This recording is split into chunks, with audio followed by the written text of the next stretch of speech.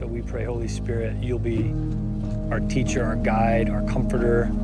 You'll flow through us in a very powerful and very, um, just a very real way, a very authentic way. In Jesus' name, amen. Amen. Amen. Dave Nabity, come on, man. How about it, bro? Come on, dude. Thanks so much for this. Is actually the very first Love Church Story podcast. I've been wanting to do it forever, and um, we happen to be in the book of Job. And just after the first worship encounter, I get a knock on my on my office door in between, and uh, and there you are. It's so interesting that so many people have trained me. Actually, God through people have trained me on life and our relationship over the years, how much I've learned from your life. And but you knock on the door and and you give me the Cliff Notes version refresher course of one of the biggest tragedies, you know, that I can I can't even imagine going through. And you've taught me a lot. You've taught a lot of people through that process. Really, your whole family has. Um, before we get to that, though, maybe just for the listener, just how'd you get to Love Church? You know, maybe tell a little bit of brief background about that, who you are, um, you know, married, how many years, that kind of stuff. Yeah, well, uh, Kim and I have been married 43 years. You know, Let's we've been together 45 years. Oh man, and um, five years into our marriage, we just about blew it up. We Mm. came really close to saying, we're done. And boy, today I'm so grateful we stayed together, you know. And, uh, but uh, I, I, run a, I run a company that's a business planning and consulting firm, and Kim works at, uh, in Millard Public Schools. Uh, and uh, she's a kitchen lady let's go. Foxiest looking kitchen lady you'll ever see.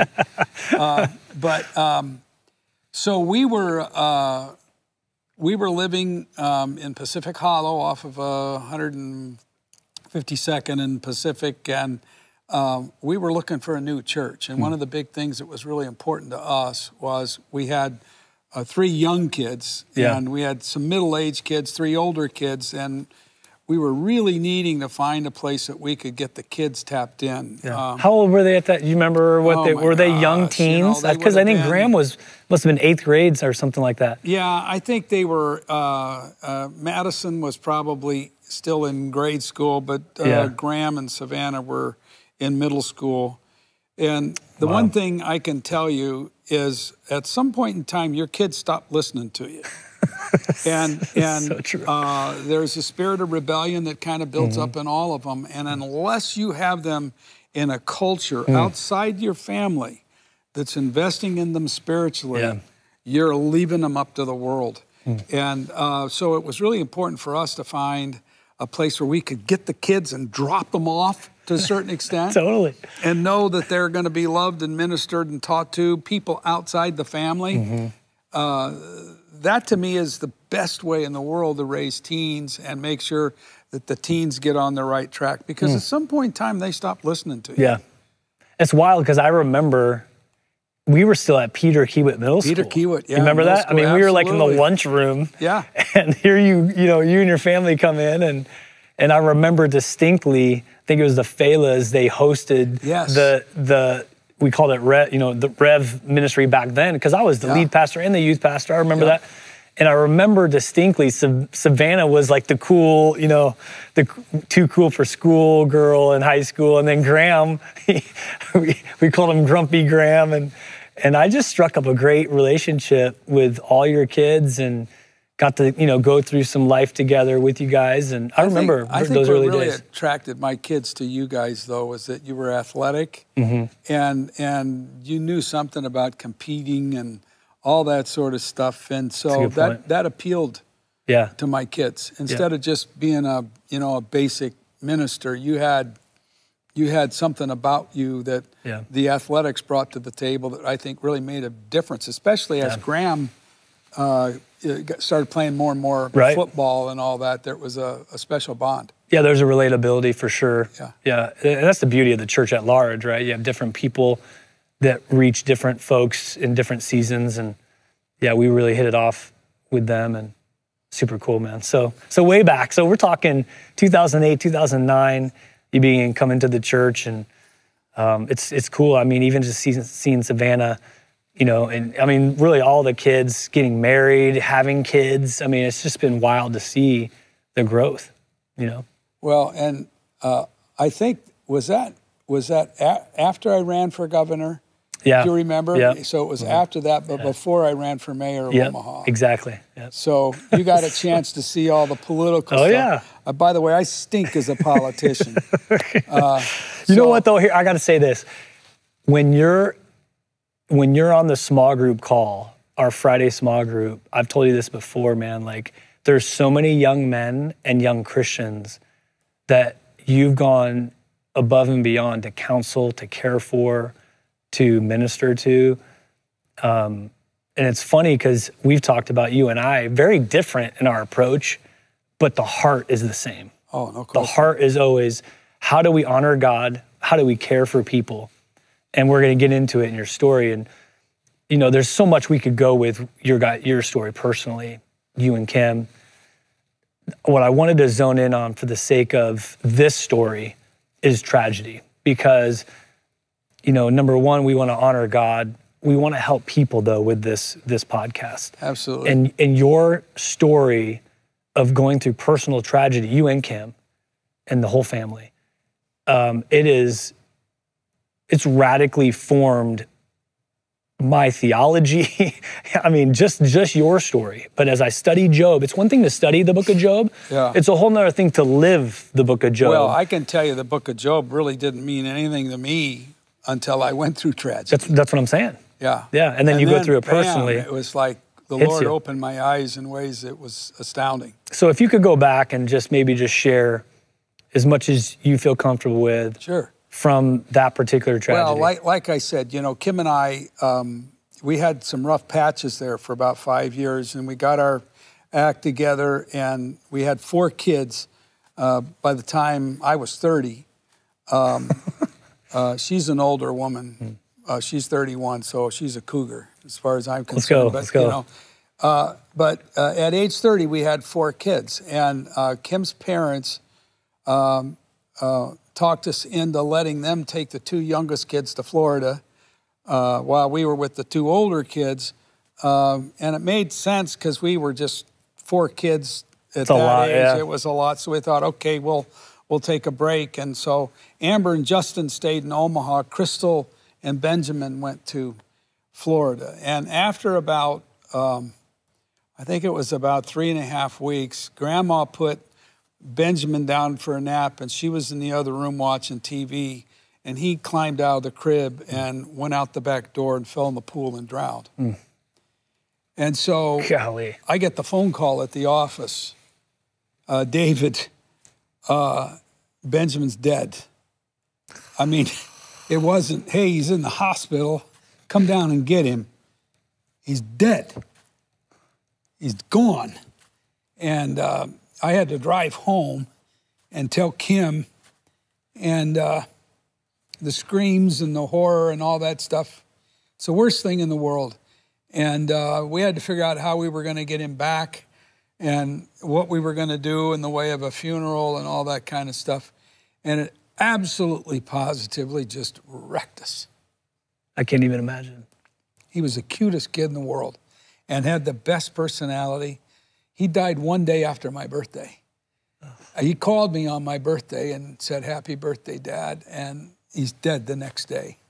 So, um, as you can imagine, um, and I'm going to share kind of my side of the story. Y- You know, if Kim was here, I know she'd she'd have other things to say, but she's more shy, and uh, she'd rather have me here talking about this. But about the only thing I could do was sit on my deck and pray and read the Bible. And that's all I did.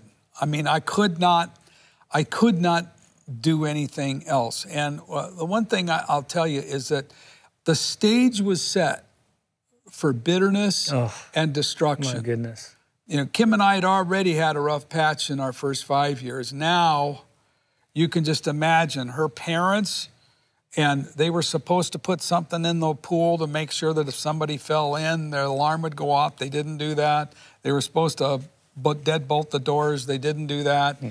So the spirit of bitterness uh, could have really taken root uh, with me being un, you know, unforgiving and mad that you know Kim's parent. Uh, uh, the, the stage was set, but was what was really cool is in the middle of all that tragedy, the Holy Spirit showed up and gave me a spirit of peace and a spirit of forgiveness and a spirit of love in the middle of all that. Oh my goodness. And um, it, he did the same thing to Kim.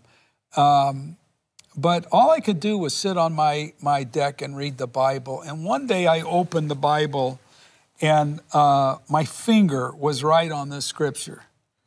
Um, this was early on. Early on. Early on. This might have actually been even before the funeral. I can't even wow. tell, tell so within a sure. couple days.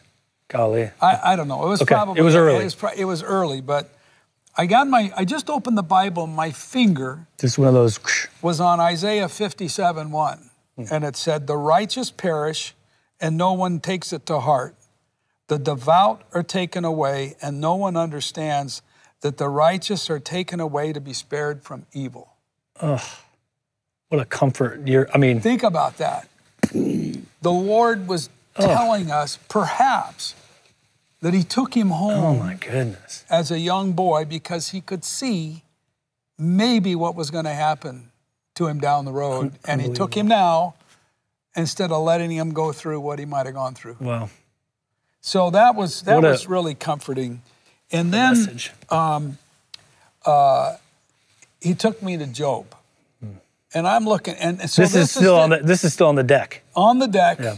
yeah, I'm reading my Bible, and he and it might have been a different day, but he took me to Job, and you were deep in Job Sunday, yeah. and this is really what what got to me is, of course, you look at a guy who was doing everything right and he had everything taken away from him. And uh, what's fascinating about the story is that his friends show up and just really dog him for I don't know how many chapters. 35 it's chapters. Like 35 chapters Seriously, or something like that.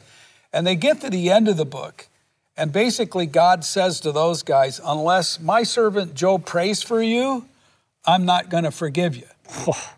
and this is the guy that lost everything and had boils all over his body and now, if he prays for you, you're going to be forgiven. But the other thing that the Lord showed me is um, at, the, at the end of the book, it clearly says that Job gets a double portion of what he had before. That's right.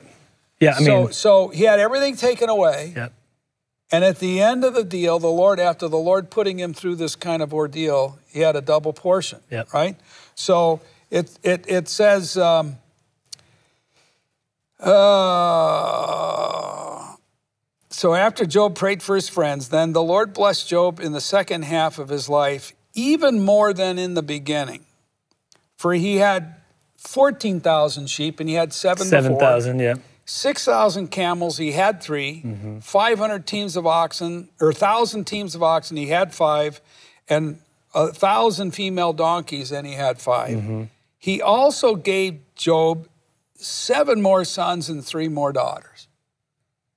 Now, the Lord slowed me down there and said, Everything's like double, double, double. Double, double, double, double. Mm-hmm. But when you get to the kids, there's no doubling. Mm. He just got the same. He didn't get 14 sons and six daughters. He got seven, seven sons and three. three daughters. And then the Holy Spirit spoke to me and said, He did get double. Because the first set of kids that were taken, they're with the Lord they're alive. Oh my goodness. Job is going to see them again. Oh, wow. So by giving him seven sons and three daughters, more, he's got double. Golly. the Holy Spirit showed me that. How about that? Just two specific words in your worst, yeah. diciest I mean, season of your you, life. It, it, it took me from being focused on planet Earth mm. to being focused on eternity and what's going to happen when we walk through the curtain and we get on the other side. Man. Now, uh, I will tell. I, I want to tell you two other things about mm-hmm. this. One of them is I also learned a lot about demonic warfare. Hmm. Uh, my wife would not want me to say it this way, but I was sitting on the toilet hmm. one day, yep. and I'd got done doing my business, hmm. and all of a sudden I felt you're going to lose your mind. You're going to lose your mind. You're going to lose your mind. In this particular season. In the, Yeah. right Same right around season. the time when, Yeah. Mm-hmm. when Ben had died, I was so racked full of grief and I had so much pain in my head and my heart Hmm. that this all of a sudden I started hearing, You're going to lose your mind. You're going to lose your mind. Wow. You're going to lose your mind. And then it dawned on me this is a demon. Yeah, demonic. uh, I have a demonic spirit right now trying to get me to be convinced that my brain is going to be gone and I'm going to lose my mind. So I started fighting that thing. Wow. In the name of Jesus, you demon, you get off of me Wow. right now. Wow. And I fought that thing for about five minutes and it finally left. Wow. And it taught me a really, really big lesson. You'd think that the demons would leave you alone when you were really at a mm. bad place and your heart was killing. It's right when they pounce. Wow. Demons will look for you when you are at your weak, weakest. Try to pounce at that and time. they will pounce on Wow. you to try to take you Man. out. Wow. You'd think they'd give you a break when things It's were like, really all right, rough. the chips are already down. Yeah. But I learned a lot about demonic warfare, and a lot of what we have going through our heads at times when we are really in a bad place, Makes sense. Yeah. it's demons that are beating us down. And so we need to be very quick Hmm. to fight and rebuke and renounce by the power of the name Jesus Hmm. any negative thoughts. I think of 2 Corinthians 10:5 where it talks about we're supposed to take every thought, Thought captive. captive. Yeah. So if you have Christ. overwhelming negative thoughts approaching you when you are at Hmm. times when things aren't going well, recognize that that might be demonic spirits tormenting you. Dealing with our a own flesh word. is tough enough. But I got one other story that I want to tell you is that I can't honestly tell you if I was sitting on my deck and the Lord took me away or whether or not uh, I had a dream. But this was so vivid. I think He took me away, honestly. But the scene changes, and I am standing on a narrow road. And I'm looking way down this narrow road, and all I can see is this bright lights coming from heaven. It was so bright that, I mean, I couldn't see what was behind it. It was just bright lights. And then I could see in the sha- shadow Jesus standing there holding my little son Benjamin's hand. And I'm looking at this Oh, thing, and I'm and I felt like the Lord was saying to me, David, I have him. He's going to be here waiting for you. Ugh. All you got to do, David, is stay on this narrow road and keep walking towards me, and you're going to see Benjamin again, and I've got him. Ugh. So I'm on this narrow road, Todd, and then all of a sudden the left side of the narrow road drops off, and it's a huge cliff, big cliff. If you went off the edge of that narrow road, you're dead. Curtains.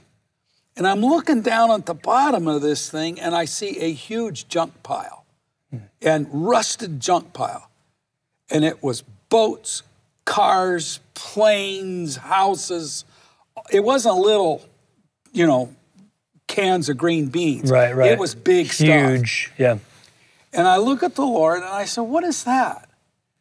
And he said, David, that's all the stuff that mankind spends all their time trying to accumulate. Oh, To whether it's the cars or the boats or the houses, it's all the material possessions that people focus on and they make it what their whole life is about. And they fall off this narrow road because they make the accumulation of material possessions more important hmm. than walking this narrow road and serving me. And, and they end up screwing their whole lives up. And at the end of the day, it all ends all up go- in yeah. a junk pile. Yeah, exactly. You think about the houses that we live in, are they going to be standing in 300 years? Yeah. Or are they going to be in a junk pile? Right. And so the Lord just showed me that, and I'm thinking, my This is during this vision. during this vision. Wow. So then, all of a sudden, the right side of the road drops off, and it's a huge cliff. If you fought, if you fell off that side, you'd be a dead man. And there was this molten lava river that was flowing. I almost feel like there was a big volcano spewing this stuff out. But it was, if you fell in that, you're you're, torched. And I look at the Lord and I say, "What is what is that?" And He said, "David, that's the pit of hell." Oh. And that's where people end up when they live a life of sin selfish ambition, sexual immorality, um, uh, impurity, uh, thievery, debauchery, everything you hear about in Galatians 5. Galatians 5, yeah. Anger, bitterness, jealousy, envy. People that live a life of sin fall off this Oh, narrow road and they end up in the pit of hell because they chose to live in sin as opposed to staying on this narrow road. Mm. Narrow road, yeah. So now this narrow road's getting really small. Golly. I mean, I got a big cliff over here with all this rust pile over here, Jeez. and I got the pit of hell over here, Oh, and I'm man. going, man, I got to stay on this narrow road. Wow. And then I felt the Lord say to me, turn around. So I turn around and I see all these people behind me On the narrow road. on the narrow road. So a whole bunch of people behind me. And I look at the Lord and I say, Who are they, who are these people? And he said to me, David, those are all the people that have your fingerprints on their hearts. And they're walking the narrow road along with you Following because you. somehow, some way, you invested in them. When they came into your orbit, you took the time to invest in them, love them, share the gospel, and teach them about the principles of Christ. And so your fingerprints are on their heart, and they're walking this narrow road toward eternity because Golly. somehow, some way, they encountered you. And then I woke up. Oh my goodness. And this is right after Ben the died. worst tragedy of your worst life. tragedy in my life. And so, what that did, man. Todd, what that did, that changed my life. Had to be sobering. It made the whole, it, it changed me in such a way to where there's really only one thing really important in life, and that is investing in my wife's heart, investing in my children's heart, and then investing in all the people that I possibly can that the Lord brings my way. Your sphere of influence, yeah. That's the only thing that matters. It's not all those material possessions that I could accumulate, and it certainly isn't trying to get off uh, living in a life of sin. It's staying on that narrow road, investing in the people that the Lord brings my way, and walking toward eternity where I'm going to see my son again. oh My goodness, dude. It- it- all that came out of nowhere. and think about the scripture, right? Narrow is the way that leads to life, and there's few who find it. Yep. For wide is the way, the, gate- gate, the gate. broad is the way that leads to destruction. There are many that are going in. I mean, what Yeah. a he gave you a such a an amazing vision of that verse in the most trying time of your entire life right there Yeah. to set you up. And here you are. How many years has it been? I mean, how many years has it been since that vision? Well, I was 30 when it happened, and I'm 64 now, so 34 years. 34 years from that point. Yep. And now it's interesting. Let me ask you this question because you're 34 years from that. And if you look behind you now and you look to the right and you look to the left, I mean, Let me just, Just- let me just say say this. We were so brokenhearted uh, that we didn't have a little boy that we could stick our nose in his belly and tickle him. That we decided to have more kids, and so Kim got pregnant, and uh, I had a dream that I'm looking at an ultrasound and I see a little boy thing there. So we don't even check. We get in the birthing room and out comes Savannah. And you're like, wait, hold Well, on. yeah, what, what happened to the ultrasound? so she gets pregnant again, and this time we go check the ultrasound, and it matched my dream, and it was Graham. Oh, jeez. So then uh, we decided to have one more, and that brought uh, Madison into the world. Unbelievable, Maddie. Yeah. And um, I got to tell you something really, really cool. The first child born after Ben died was Savannah. She gets married to Nick Palmer. She has a baby boy. He looks just like Benjamin. if you put their baby pictures together, um, they and they look like twins. It's just absolutely, and it was just a little thing the Lord did to just let us know He loves us. Lincoln, Yeah, it's just a, a little wink. gotcha. And I got to tell you now, at 64, when you when you look back,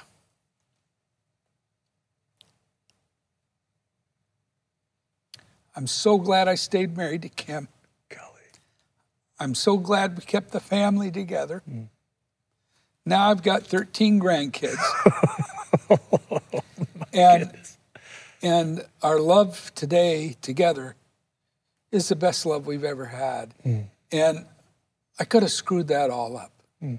We both could have screwed that all up. But we stayed faithful. We followed the scriptures.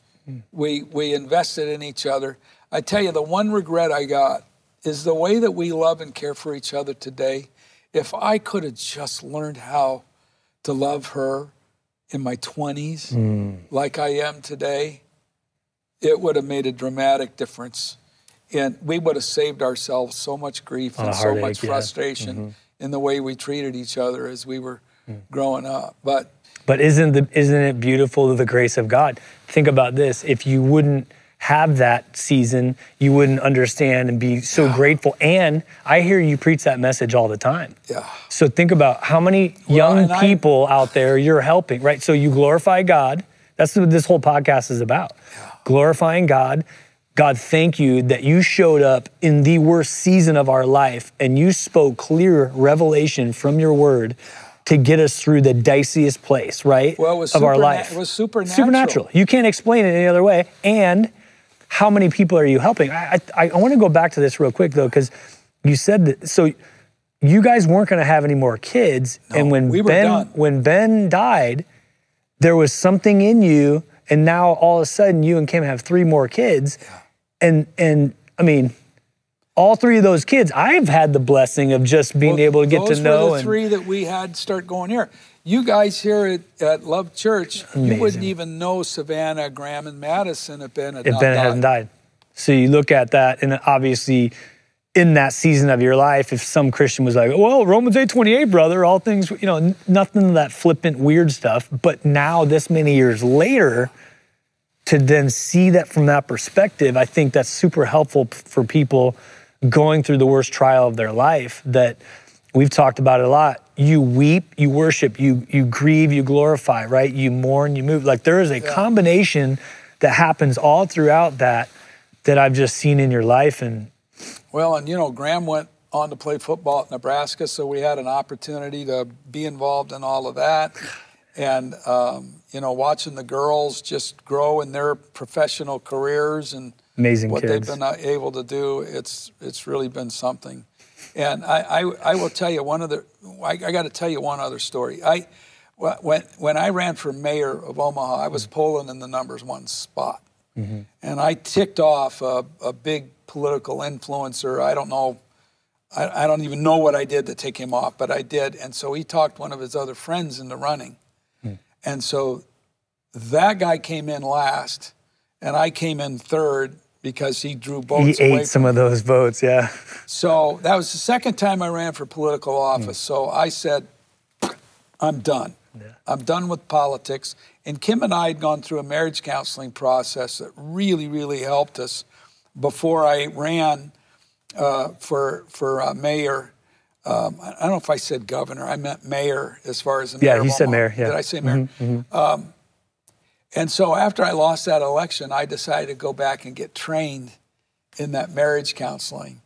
And um, so I've been doing marriage counseling uh, ever since uh, uh, because, uh, you know, I tapped out on politics and just decided to invest in ministry all 100%. So it's just interesting the way things have, you know, ebbed and flowed. how he opens and closes. I remember praying into that in that season, and we and that's what we prayed. Lord, would you open and close doors as you see fit? Yeah. Because either role, right, is is ministry. Doesn't matter where you're at. We're full time ministers, Yep. but your gift to and this is what maybe we can land on this it, to encourage you and Kim, like the heart to see people whole in their heart from past hurt, past abuse, past neglect.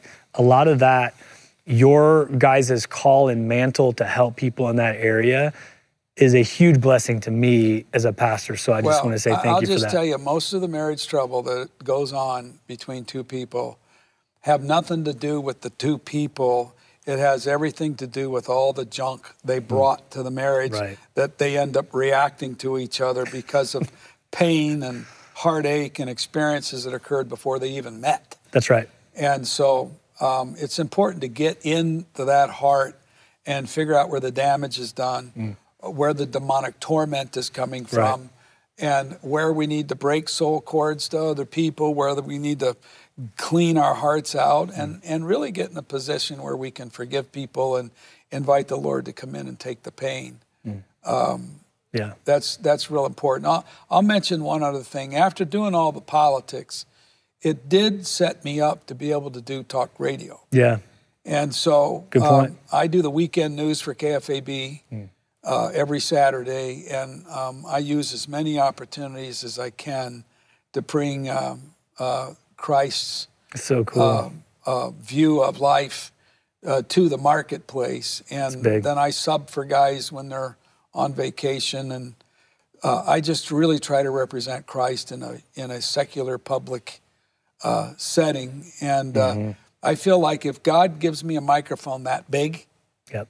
I got to get behind it For sure. and uh, represent Him in the marketplace. So that's one of the good things that came out of politics. So cool.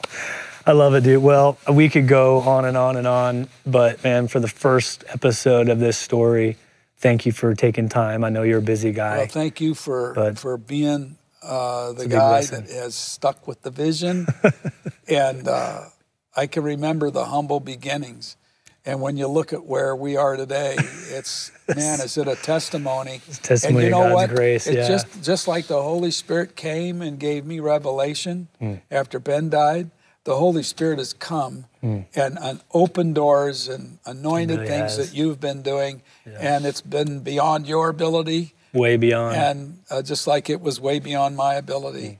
And that's one of the coolest things about the Holy Spirit. Yep. When you let Him do His work, Yep. it. Uh, I, I like to say it this way: when I didn't have my marriage right, and I was still coming to church, and I was still in Bible studies, all that life was tough. I felt like I was rowing Yeah. everywhere I was going, and Yeah. sometimes the waves were so big I didn't feel like I was really getting anywhere.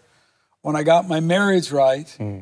after going through the marriage counseling, and uh, began to make that the first priority of everything that I was doing, uh, and let the Holy Spirit really move, I felt like I could hoist my sail, and the Lord would provide the wind, and off we go. Oh, such a great picture. Why don't you let's let's end, if you don't mind, praying for the church because predominantly a lot of the church here at Love Church is going to hear these stories. Okay. Would you mind praying for that exact thing, Absolutely. please? Just that the Holy Spirit would just, you know, any junk that's going on, there'd be some some humility to let it go. That the Holy Spirit would just come and just move in their lives, please. Lord Jesus, I pray first of all for humility Yeah. of everybody that attends this church and everybody that watches online. I just pray for a spirit of humility. And I, I pray, Lord, for a spirit too where people are willing to, to get real about their sin and lay it down and confess it to the Lord and just be real and say, Lord Jesus, I know I'm a sinner. I know I've made these mistakes. I know I've fallen short. I know I've hurt other people. I confess that sin, Lord, and ask you to forgive me of that sin and cleanse me. Cleanse me from the top of my head to the tip of my toes. And Lord, I repent and choose to walk a path and walk a life that is directed by you with my Lord at being my Lord and Savior. And I pray, Father, that you fill me with your Holy Spirit in a mighty, mighty way. And Lord, help me begin to see where the damage has been done in my heart, where I've built walls around my heart, where I've I've even made the confession that I am never going to let anybody hurt me like that again. And so you toughen up and you shut your heart down. Doesn't stop you from falling in love, doesn't stop you from getting married, but you bring a tough, calloused, barricaded heart to the relationship so that you can't really love the way God would really want you to love. And I really believe, Lord, that the wife needs to be able to take her heart out of her chest and put it in the hands of her husband and know that in his hands it's the safest place on the planet. It's going to be nourished, it's going to be cared for, it's going to be loved, it's going to be cherished. And the husband needs to be able to take his heart out of his chest and put it in the hands of his wife and know that it's the most respected, loved, cared for, and nourished place on the planet. And if our hearts are all locked up because of the damage that's been done to us over the time, over the past experiences, families, past relationships, that kind of love can't happen. So, Lord, I pray that you help us all see where our hearts have become cold, where our hearts have become calloused, where we've made vows that we're never going to hurt again in our heart. And Lord, open up the hearts of everybody in this church so they can lay down at your feet all the pain, all the suffering, all the frustration, and they can risk really loving the way that you would want us all to love so that we can we can not only restore our marriages but then we can begin having a huge impact on everybody we encounter so that our fingerprints will be on the hearts of many that are going to walk that narrow road towards eternity. We invite your Holy Spirit in in a big, big way, and we ask you to remove every demonic stronghold that has taken root in the hearts of our church and any place where the enemy has got cords wrapped around their hearts and minds. We ask you to cut those cords right, right. now and get us free so we can love and serve the way you want us to. And we pray that in Jesus' name. Amen. Amen. Amen. Thanks, bro. Appreciate your time, man. And uh, thanks for your leadership. Yeah, man. thanks for uh, thanks for allowing me to share. It's cool.